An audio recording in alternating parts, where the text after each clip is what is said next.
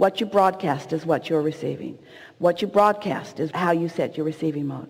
So if you're broadcasting from this state of alignment, as we said earlier, the energy that creates worlds is flowing through you in such a powerful way that it overrides what anybody else is doing.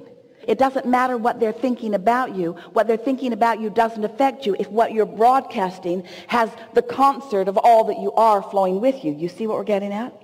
But if you've been like most and you have domineering someone's in your life who want you to care about what they think, who have convinced you that it's their allegiance and alignment that you need, but their allegiance and alignment is not in sync with what source knows about you. When you hook up with what humans want about you, the receptive mode something down here. When you hook up with the receptive mode of your inner being, it's a whole different vibrational frequency, you see.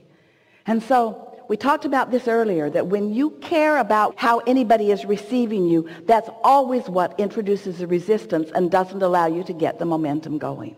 That's always what it is.